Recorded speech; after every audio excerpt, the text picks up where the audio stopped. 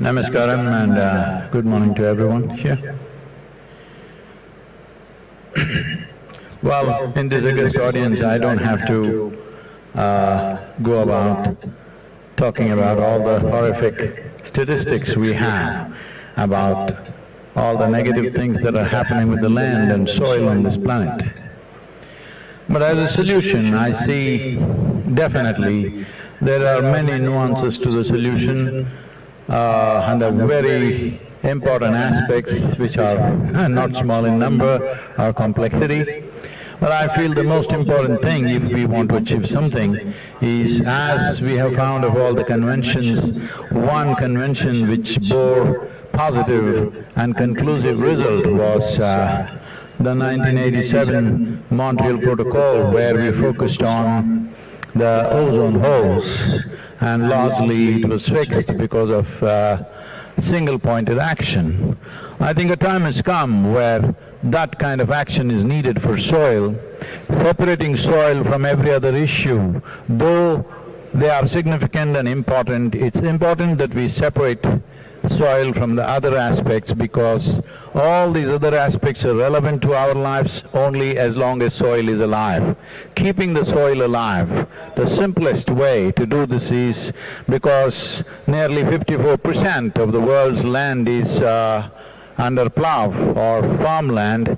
Another 18 to 20 percent is partially under farming. So nearly 70 percent or 71 percent of land is farmland, 4.2 percent is urban land. So essentially our problem is 71 percent is plowed, 4.2% is paved. This is the essence of it.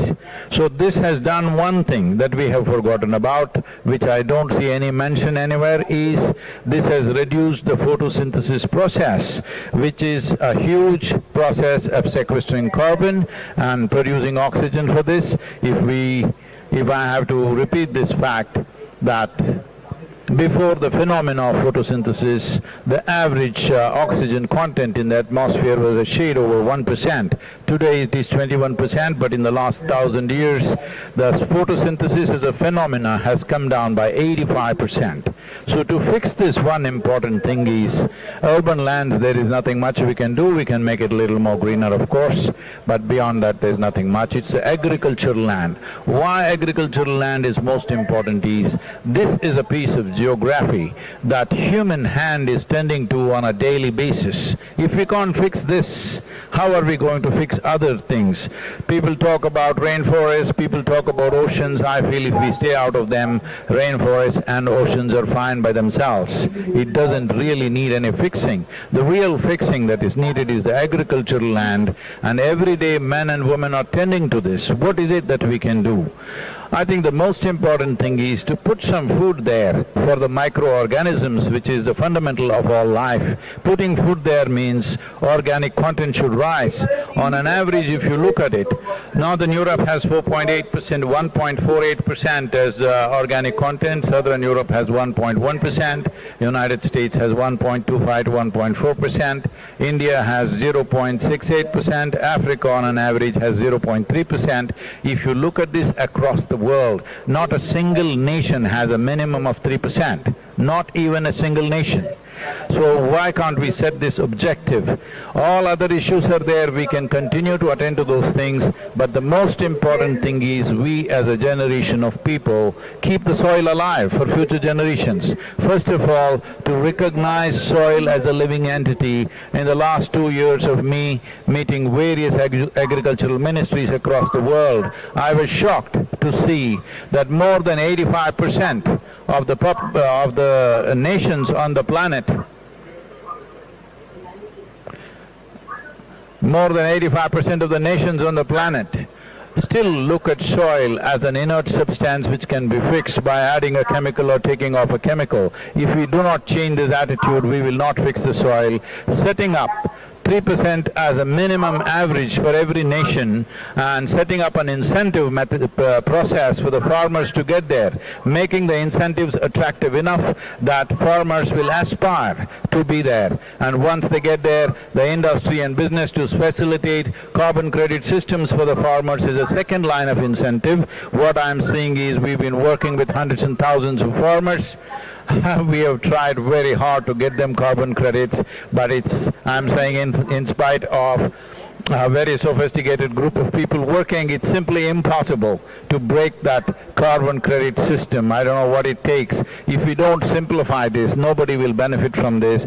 Not only simplify this, instead of asking the farmer to go and get carbon credits, if he reaches 3%, whatever is that sequestration that's happening, the governments can calculate and offer that as an incentive. The third level of incentive is, instead of just labeling uh, food products as just organic, as if the other foods are inorganic. It is not. And it's extremely difficult and it takes a whole lab process to measure the amount of fertilizer and pesticide in a given product, either a fruit or a vegetable.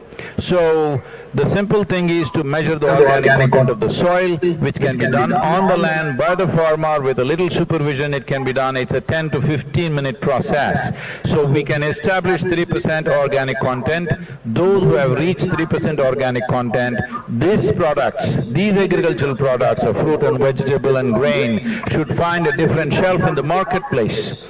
If it finds a different shelf in the marketplace, there is enough science to tell us. If a field contains 3% organic content, what are the micronutrients which are present in the food, what are the health benefits, what are the preventive health benefits, and what are the benefits for the nation in terms of the number of man days gained, the less stress on the healthcare system, happier, healthier and happier population in the country, what it leads to in terms of productivity and creativity, all this, there is enough data, we just have to correlate this. This three-pronged incentive basis to the farmer will definitely start rolling this disaster that is unfolding in terms of soil extinction. We are using this word soil extinction.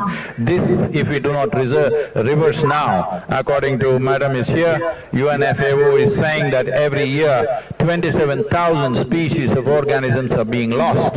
At this rate, in another 30 to 35 years, we will reach a place we can talk as much as we want, even if we invest all that we have, we will not be able to turn it around because we would have reached that point of no return. It becomes extremely difficult or nearly impossible. But right now we have this challenge and also a privilege that we are that generation. If we act now, we can be that generation we turn back from the brink of a disaster.